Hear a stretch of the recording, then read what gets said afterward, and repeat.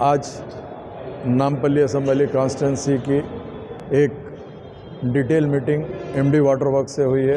नकीब मिलत बैरिस्टर असदुद्दीन अवैसी साहब की खाद इंस्ट्रक्शन पे और हबीब मिलत जनाब अकबरुद्दीन अवैसी साहब की लीडरशिप के अंदर नामपल्ली असम्बली कॉन्स्टेंसी के जितने पेंडिंग वर्क्स है बिफोर रेनी सीज़न उसको फास्ट करने के लिए और जो जो काम की ज़रूरत है, इन सब कामों के लिए हम ख़ास तौर से यहाँ पर आए हैं, जिसके अंदर चाहे वो वाटर लाइन हो सीवरेज हो या मेन होल के प्रॉब्लम्स हो। ये सब डिटेल मीटिंग हुई।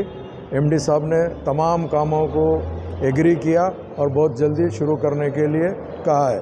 मेरे साथ में नामपल्ली असम्बली कॉन्स्टिटेंसी के तमाम कारपोरेटर्स नुमाइंदा कारपोरेटर्स मौजूद है।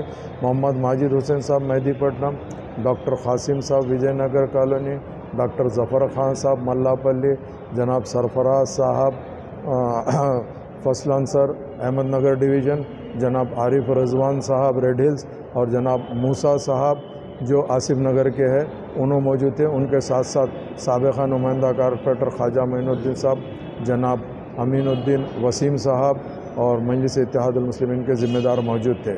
आज की ये अहम मीटिंग का मेन मकसद ही यही था कि जितना जल्दी हो सके हम ये कामों को तकमील कराएँ, जहाँ जहाँ पोल्यूशन है, वो पोल्यूशन को दूर कराएँ। इसके लिए एमडी वाटर वर्क जनाब दाना किशोर साहब ने तमाम कामों के लिए एग्री किया है।